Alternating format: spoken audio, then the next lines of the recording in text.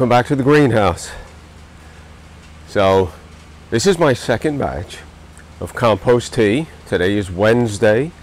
I want to apply it on Friday. That'll be one week from when I first applied the first batch of compost tea. So, I'm going to add, as you recall, the six cups of compost. I've probably overfilled this reservoir. This is a 30 gallon reservoir. So six cups. I've got eight ounces of the uh, liquid kelp. I'm going to add eight ounces of liquid fish fertilizer.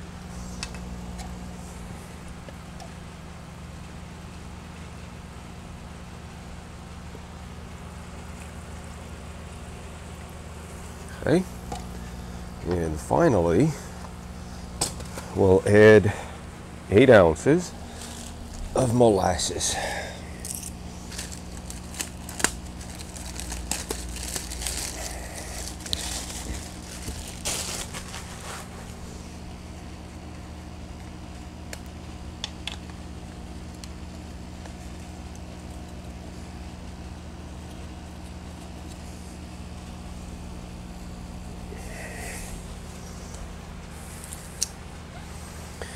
All right, let's get that in here.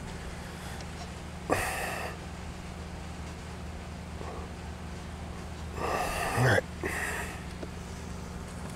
put the cap on.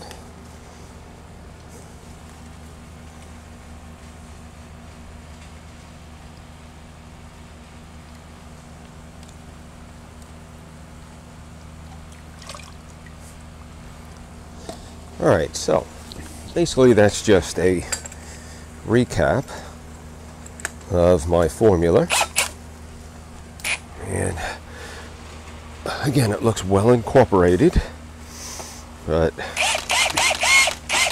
give it just a little bit here.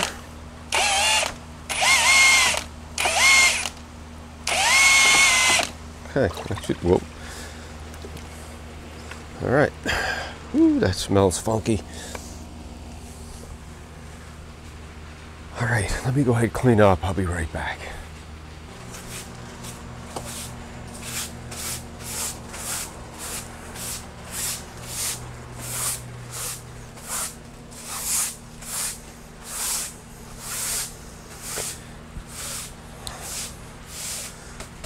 All right, I'm going to finish sweeping up in just a minute. so, again, today's Wednesday. Excuse me. Um, I like to let this brew for 48 hours and that'll bring us back to Friday which is when I promised to give you guys an update. So I'm going to attempt to give you weekly, every seven day updates. so I needed to make up a fresh batch of compost tea. Uh, I'll be back Friday and we'll take a look at my vegetables.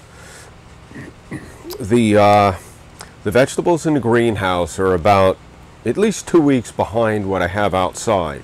So the Birdies raised garden beds outside were planted with seedlings that were started two to three weeks ahead of what's inside the greenhouse. So uh, Friday we'll take a look at what's outside, inside, and I'll go ahead and put my second application of compost tea down. And uh, from there we'll go to the next week and see how it's looking.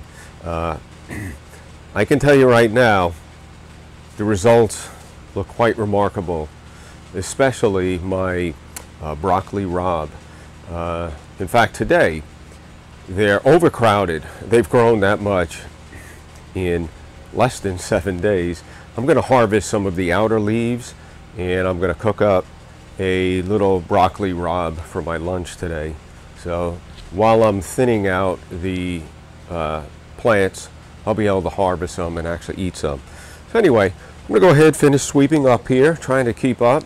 I still have a lot of organizing to do, but we'll see you back here Friday for our update. All right, we'll see you later. back here at the greenhouse.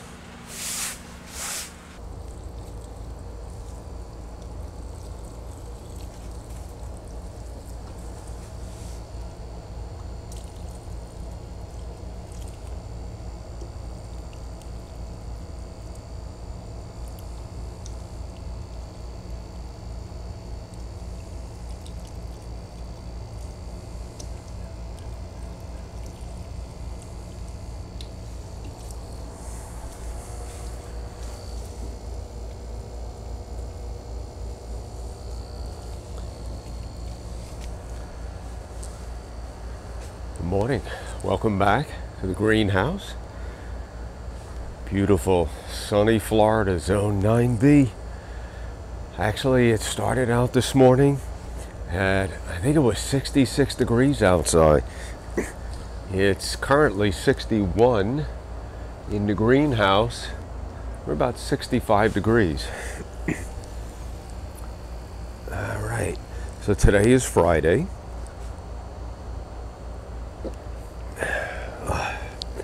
Cappuccino. Great way to start the day. So we're back.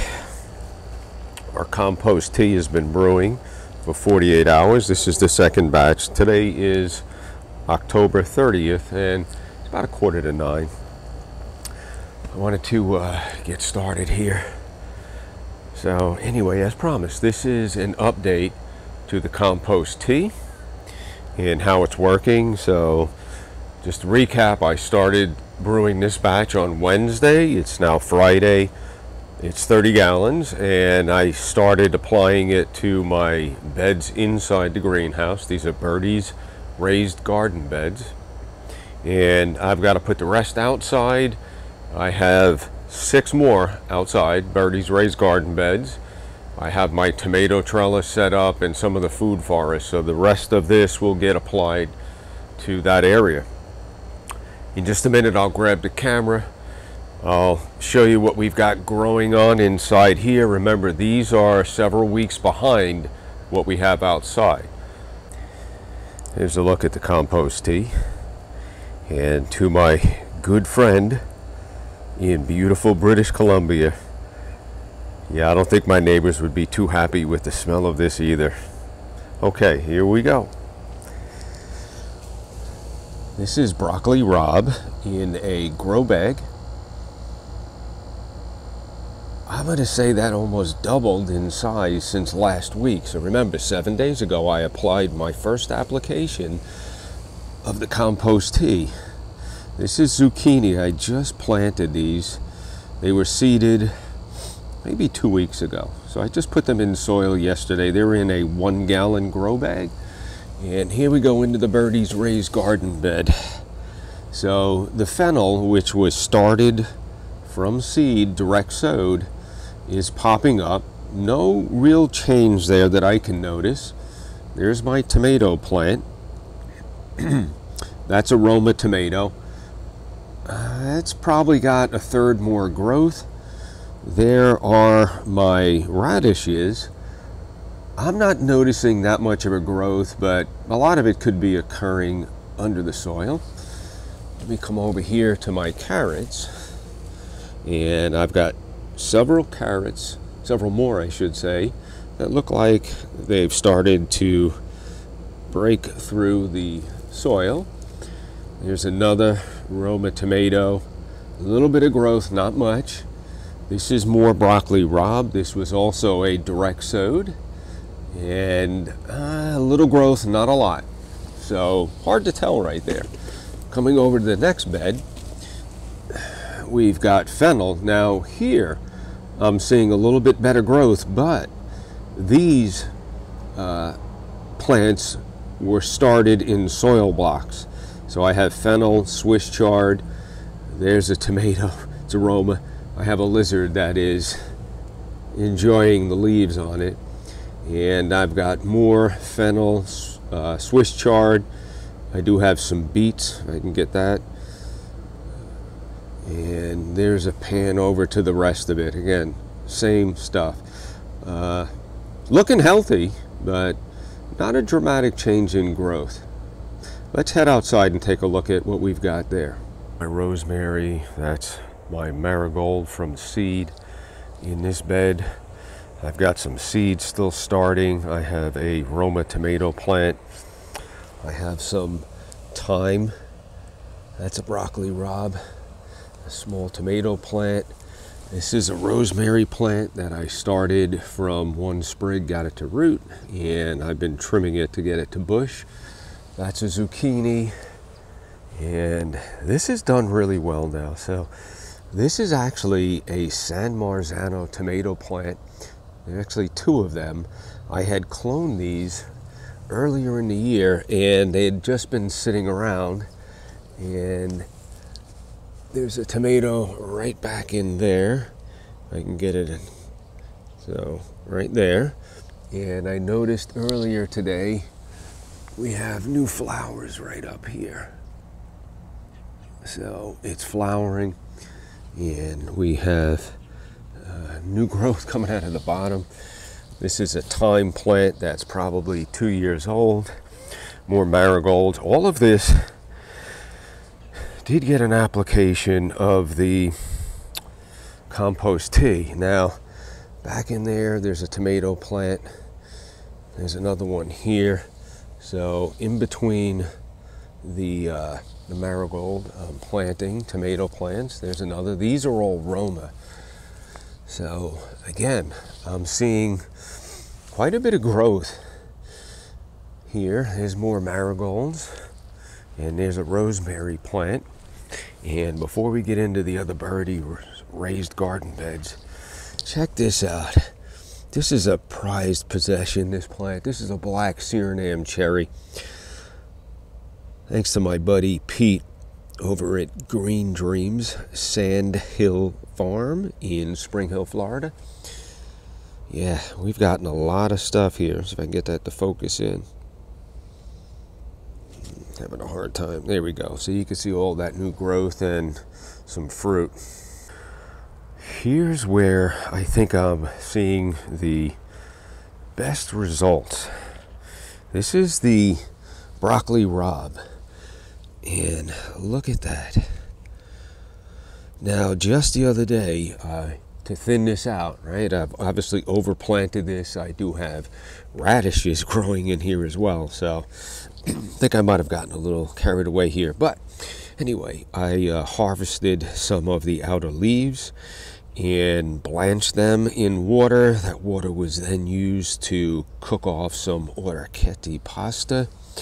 I then sauteed after giving the broccoli rabe an ice bath, some garlic, a little Italian sausage in olive oil, a little splash of white wine, and the broccoli rabe and had a wonderful lunch.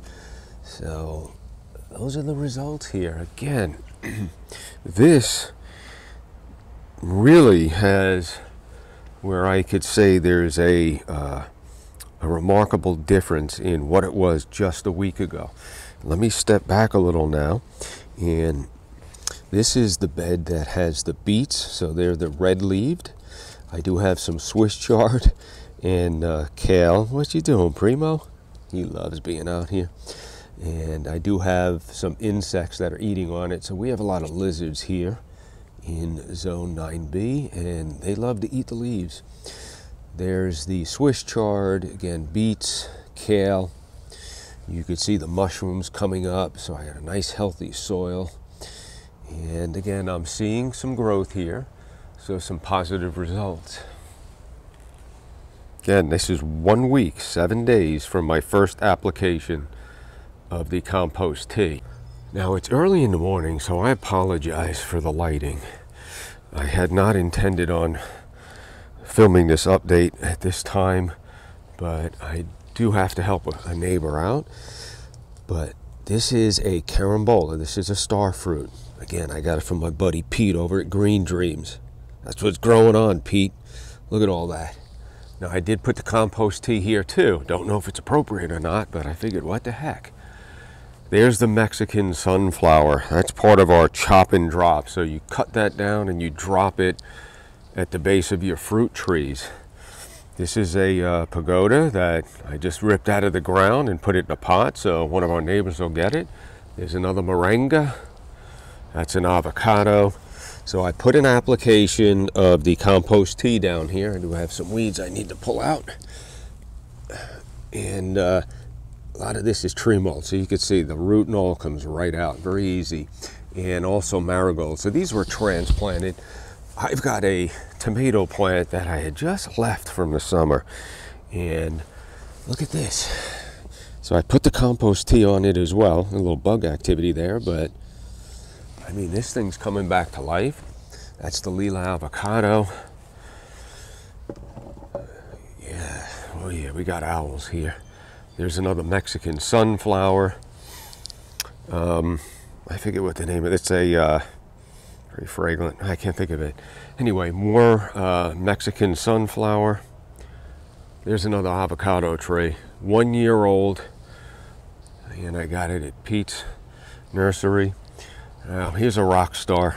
I did put the compost tea on this as well. This is Mexican, I'm sorry, this is actually longevity spinach, excuse me, longevity spinach. Another superfood, edible leaves. This is good stuff right here. We put it in our soups and saute.